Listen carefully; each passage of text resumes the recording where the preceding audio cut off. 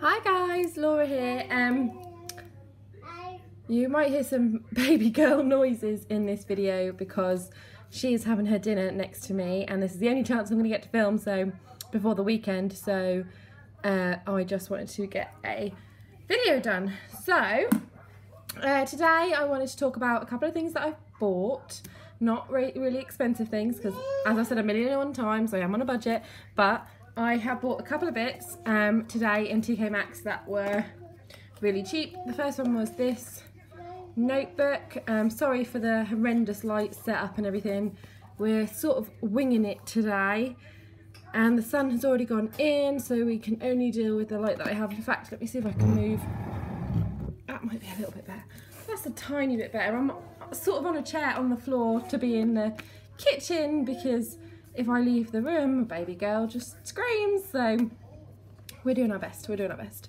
So it says, three things cannot be long hidden. The sun, the moon, and the truth. And it's got a little bit of water on the top because it was on the counter whilst I was doing the washing up. So hopefully that all disappears. Um, but yeah, I just thought that was so beautiful. The blue galaxy, like, you know, starry night. And it is just aligned. Why is that not focusing? It's just a lined pad with rose gold rings and they had other ones in there that had uh, normal gold but that is rose gold you can sort of see. Uh, and I thought this would be good for my course that I'm doing at the moment.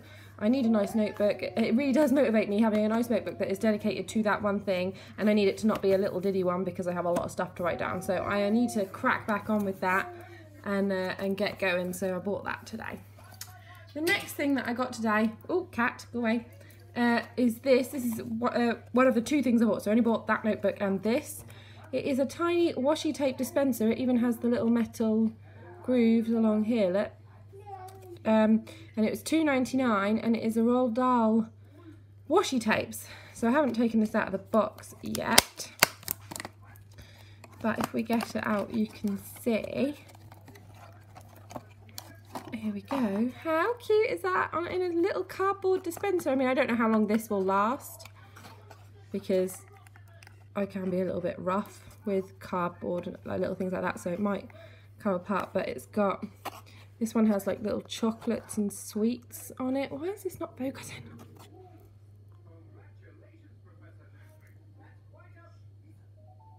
Chocolate and sweets on the first one, peaches on the next one. Um, this one is animals. Yeah, that's a monkey, yes, pelican. This one is a giant black tortoise eating lettuce. And that's just a repeated one. Yeah, they're all repeats, they're not long repeats. So let's see if we can peel some up on the dispenser.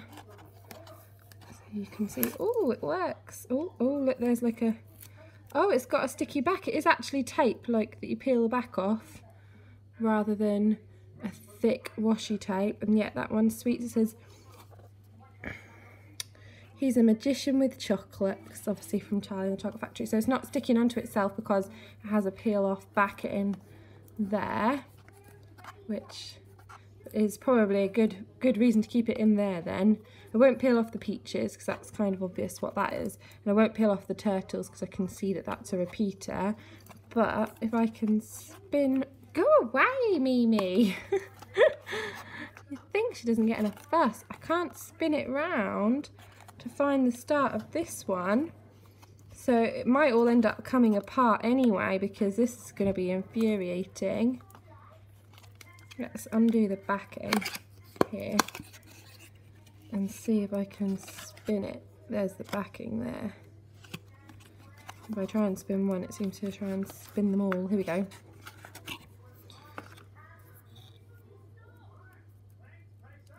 One of them's rolling away. This one doesn't have... Oh, maybe it does. Yes, there it does. There we go. See, so that's... Or is that just a... That's only a little bit. I don't know what's going on here. It's like at the start, there's that peely offy thing, and then it disappears. And there's no more peely offy stuff. It's just like at the beginning, they have like this bit to obviously start you off. I don't know. I have no idea what is going on with this. This is totally different from anything I've had before. But um, it says Whoopee! shouted the monkey. I don't know if you can see.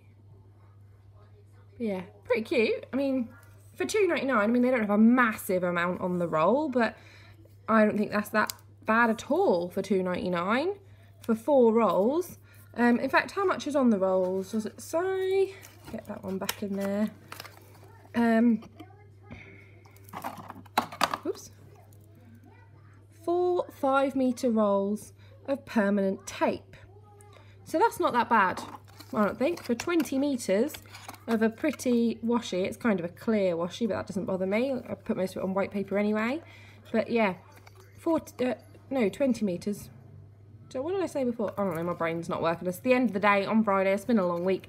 20 metres of washi for grand total of 2.99 and it's Roald Dahl themed and I used to love the Roald Dahl books so I'm really happy and it comes on its own little cardboard dispenser with the metal blade to cut it. By the way I won't use that because I never would but still very very cute. Um so I thought on when I found this I thought you know what? I am gonna walk you through my washi because I don't have tons of washi. Um you see some people who have these um, racks and racks of washies in their craft rooms. Well, I would really love to do up our spare room and make a craft area for me and all of my stuff. At the moment, I've just got some bookcases and they are jam-packed full of craft things.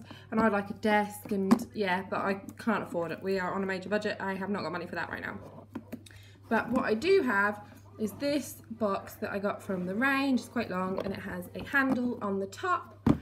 And in here is where I keep my washi. Now, as I said, I do not have a lot of washi, as you can see.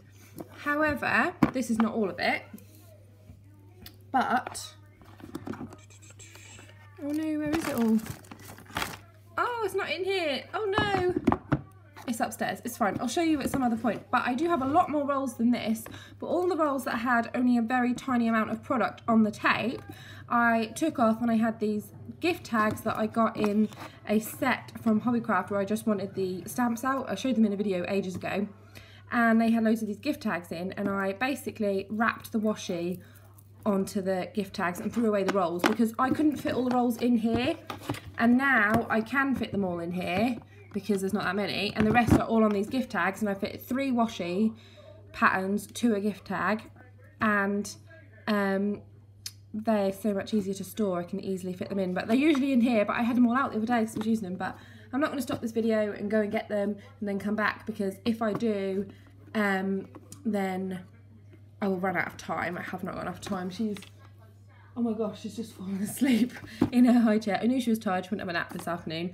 Um, but I'm gonna have to wake her up because we're not doing late afternoon naps anymore because she doesn't sleep at night. So that's gonna be fun. I thought, she was quiet. Anyway, so I'm just gonna show you the washi as I have it stored in here and tell you a bit about it. This is to go in the bin because this is one of the ones I peeled off. Um, and there is now none left on the roll. There's like enough to go round it, but that's cardboard underneath. It's not, there's not any left on that, so that can go away. Um, so, uh, I do want to sort out my skinny washi into its own section, um, but this here is not washi, this is magnetic tape. I have quite a lot of this, you can get it in Poundland and it is really, really good. I, it's not a really, really horrible thick one, a really thin one and it's really sticky. So I use this, I like to make little card envelopes and use the magnetic tape for them. Um, in here, this obviously isn't washi, but this is the spare elastic that came with my Meadowgate Leather Traveller's Notebook. Um, he gave it to me. He gives everyone who buys one some spare elastic to, to use to make jump bands rather than using elastic bands, which is what I'm using in my other Traveller's Notebooks at the moment. Um, so let me just go through this with you guys. So you might have seen quite a lot of this before, but here I have some that is from a Wish haul that I never ended up filming because the stuff all came at such separate times, which I know happen. I know happens with Wish, but some things went, well, a couple of things went straight in the bin because they were absolute rubbish. Uh, these things all got used straight away, so I had to crack them out because I needed them. I wanted to use them straight away, and then um, and then a couple of other things were all right. They're in my stamp collection, so I did use them. But yeah, I just didn't get around to doing a haul video, so I'll just show you the ones that I got from Wish these, or these, or these. So these five washi. Ah! I'm not focusing again. What is wrong with you, camera? There we go. These five washi came from Wish. They were all a pound each or less. Some of them were 89 pence. And because it was my first ever order from Wish, I got a like vouchery coupon thing to have 50% off. So that just cut off the delivery really because the delivery was like a pound each. Like it was like basically it was a pound for the washies and then a pound for delivery. But then I got basically free delivery in the end. So yeah, a pound each for these washies. First one is are these books. So I can make anything look like a bookshelf which is really cute. I really want I, have used it a few times already because I just love to read. I'm always looking for book recommendations by the way guys if you can think of any that I would like or that you really like you know pass on the love. Um so the first one is the books. I would quite like to put a page in one of my planners for books I'd like to read. So yeah, any recommendations would be great. Um, because I just find that if I don't write them down, then I forget them, and then that's just it. They're gone, and they're on they're on a shelf. If you can see, there is actually a shelf underneath them. I was going to put a page in my bullet journal of books I wanted to read, but bullet journal didn't work for me. It just I like a more structured planner that's already written out. I can't write it out for myself all the time because I just don't. I don't know, it just didn't work for me. So there's the little books. The next one is the donuts. Now this one actually didn't arrive that long ago, like maybe a week and a half ago. And I put this some of this on some of my pen pal letters that's gone out. Um, I can't really see because it's quite a clear washi. So let me just pull some off the roll for you. So yeah, oh, Oh, this is not going well, this video. So yeah. There is a, there's a repeat. There we go. So green, like with chocolate chips. Pink, glazed, white, icing. Chocolate, oh, chocolate, pinky. Uh, oh, that's, that's to the repeat. So it's quite a long repeat. I quite like that. I could get it to go across the bottom of an envelope or along the side of an envelope just once and not um, and not repeat. There was more on here, I have used quite a bit, but that is still quite a good amount of product I think for a quid. Next one, I've actually used tons of, I'd say maybe even half. There was so much on this, it was crazy. It is the days of the week. And I've just used it in the odd planner and odd place because I just love the font. I just love it. I just think they're so, so nice and yeah it just goes in days of the week order and yeah there was loads more on there um, next one is cameras I need to take more pictures well no I don't need to take more pictures I need to print more pictures off I really want an HP Sprocket cam um, camera printer but it's just not happening at the moment because again budget will not allow. But um, I love this for when I do take pictures and print them off and getting that one there. So that's the repeat of the cameras. So again quite a nice long set of repeat. Quite like that. Uh, and again good for a pound. I haven't used that much of this one. I have rolled some off to go on this little gift tag here uh, that says washi as you can see I have rolled some off onto there that is going to a pen pal at some point just when I remember to put one in um, I like to sometimes put a little bit of washi or some sticky notes or whatever into my pen pal letters, as my pen pals will know, and that will go out at some point. Um, that will go in there. Oh, and I'm not, um, I don't work for um, Tiny Talk, by the way. this is just a sticker. My, my daughter gets a sticker every class she goes to. She's 10 months and they give out stickers at her Tiny Talk class. And um, she loves to stick them in places. She just holds them, walks around with them in her hand. When we get home, she realises it's on her top and she just walks around with it in her hand. And then it always ends up somewhere. And she was obsessed with pulling my washi tape out and I was putting it back and she was pulling it out and it just ended up stuck in there. Uh, the last one that I had from my little wish haul was bunting. So this isn't a massively long repeat. So it's one, two, three, four, five bunting flags on a repeat but it is super cute goes along the top of anything really sweetly like a little banner you can write in each section in you know, put a letter in each one if you want to write a little message in them. I just think it's really cute. I have used a little bit, but not that much. And look how much is left on the roll, absolutely tons. And I've not had any problem with these sticking to paper at all. So, I mean, I think washi is something that I would be very happy to buy from Wish again because these five have been absolutely brilliant.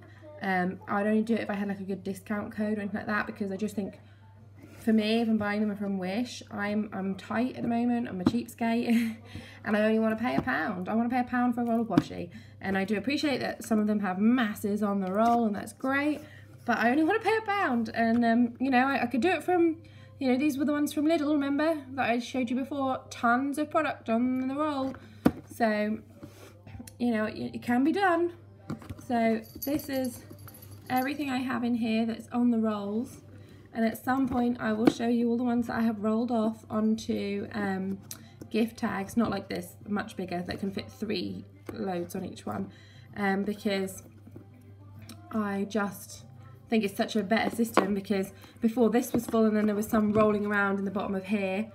Oh yeah, I'll show you what's in the bottom here since we're doing a little sort of walk through my little craft uh, suitcasey thing. I, I, honestly, this is not all of my stuff. Jeez, if it was all my stuff, my partner would be the happiest man on earth. Um, no, the whole spare room is full of my stuff, but this is a pencil case that I got from Wilko's that I love, and I was carrying it around for quite a while, but I haven't just for a little while. And in here I've got some of my pens. Um, I got these calligraphy pens from Ryman's. I'm not sure how much I like these like faux calligraphy pens. Uh, one's quite thick and big, but I mean, they're all right, but I'm, I'm not sure. Maybe I need to learn how to use them more. Um, and then there is my Papermate Inkjoy Biros, which are okay to write with. I think I like working with a standard, like this Papermate back biro, because it's just really heavy and I like how the black ink is just really stands out. It's, you know, with these, they feel like they roll along really nicely, and I'm missing a few, I'm sure, that are in my other pencil case, they in my black one especially. They roll along really nicely, but they're not incredibly dark. You know, they're, they're sort of light on the page, and I like I like them to be really dark and stand out. So they're okay, but they're not my favourite. These I absolutely adore. I don't have the big set. I only have these three of the Papermate Inkjoy, um, the gel, the 0.7 gel. And um, I love these to write with. I think they are brilliant. Um, I have to hold the paper down, you know, like if it's in a, a notebook that isn't spiral bound and the paper's up a little bit or anything like that, I have to hold the paper down because otherwise you get little flicks of ink, like when you finish a word. But I absolutely adore how these write. They're so lovely to write with, pretty good pens. So I really want the bigger set for, of them, but they'll have to wait. And then that is a Friction, Pilot Friction Light highlighter. Um, I don't mind the friction pens. I just don't see what all the fuss is about. It's great that you can rub them out, but they don't, again, they don't write particularly dark. It's like writing with a pencil, the colour, and I just, I like a really dark, fat pen that is down and, you know, it's down. I've been really enjoying writing with my Sharpie, ultra fine, but it just goes through everything. Like even in my Happy Planner, you can see it, it really goes bad, so I'm going to have to stop with that. This pen is oh, that's not the right side. I was pulling that off. A fine liner style pen, or is it? No. I don't know what that's called, but it does work. It's just not working on my hand. But it came free, or it came as part of my uh, pink, um, I can't think what the word is. I did the video. It's from, oh, it's like a zip up. Oh, it came free. And then the next is a Bic four colour pen. This is the purple one that comes with the light green, purple, pink and light blue colours. I love these pens. In fact, I've got two more on the table just here because I just adore them. They go in all my planners. Um, and the shine, that was like £1.29 from Wilkinson's. And it's just got the standard colours, but that that is blue. It looked purple then. But I love the shine one. That goes normally on my Kikki K large planner and then this one is just the standard um doesn't have the blue half but that doesn't bother me. Standard one they were they're 99p right now in uh, home bargains? Yes home bargains. That's in there. There's also some watercolor stickers in here from Poundland, I didn't show you these, or Pound World, Pound World, because I got the planner stickers from Pound World the other week and the planner sticky notes, and I also picked up a pack of these for myself. Those sticky notes and stickers for the planner are, there's a set in my giveaway. Go and watch my giveaway video if you haven't seen it already. It's running until Sunday, this Sunday, the 3rd of December, and then I'm going to draw it on the Monday. So if you want to enter, make sure you go there, make sure you're a subscriber, and then comment on the video. So yeah, these are wedding stickers. So I got these to put away because I'm getting married next year, so I'm sure I'll use those in something. Here's just some label stickers from the little set of Christmas stickers that I got. They've got some foiling on them.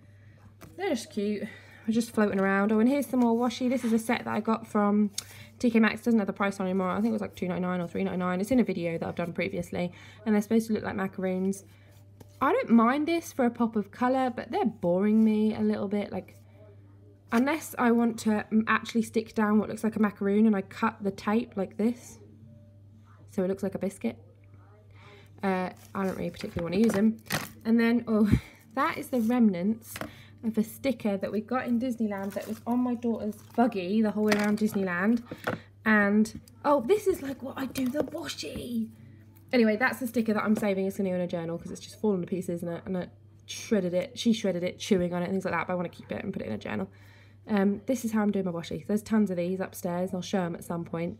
And that's a whole roll of washi on there. This is a B&M's B&M washi that was like 2.99 or 3.99 for 13 or 2.99 oh, I can't remember how much it was but there were 13 rolls and there was not a lot on each roll as you can see that's an entire roll of each one on there so that's what I've done with some of my cheaper washi where I didn't have a lot on the roll and I didn't want to take up so much space with these rolls everywhere because they just weren't you know it was taking up loads of space that I didn't need to be using and this thing was like absolutely in chaos and I didn't enjoy it these pens are from QD's I don't know if they have these all over the UK, but they have them in my town. And I love them, and they write all right. They don't particularly come out with me because they're so big and bulky, but I just thought they were so cute when I saw them. I was like, I need them. And they only had the pink and the blue, and I was like, I need them both. I couldn't pick.